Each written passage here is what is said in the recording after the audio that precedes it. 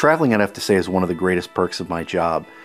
Every couple of months, I have an opportunity to see someplace new in the United States, and in many cases, I get to travel abroad and see Europe and Asia.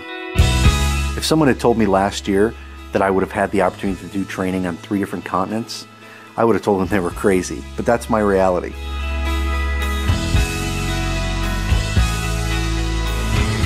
I'm a global PLM training manager, which, which is really exciting for me because I have the ability to interact with people from all over the world and impact people in a way that allows them to do their job more productively.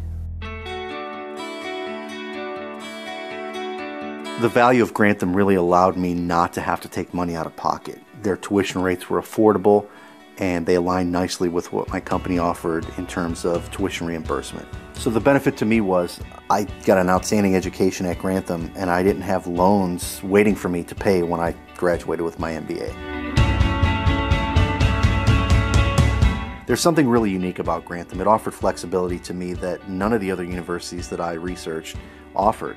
I had the opportunity to work at my own pace while being a father, a husband, and traveling around the country to do my job. It was just one of the things that really helped me decide that Grantham was the right choice for me. I can't help but remember the statistics course that I had. I'm not a numbers guy by any stretch of the imagination, but I had to reach out and find a tutor because I wanted to make sure that I passed the course. Actually, one of the only B's I got at Grantham was in that statistics course, and I was doing backflips or somersaults that, you know, that I had that.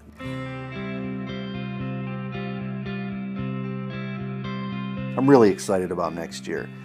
Looking forward, I've got trips planned to Germany, Switzerland, China, and I'm fairly certain that none of that would have been possible without my MBA from Grantham. I'm very proud of my education. It's one of the things that no one can take away from me, and I can always show my children that anything is possible.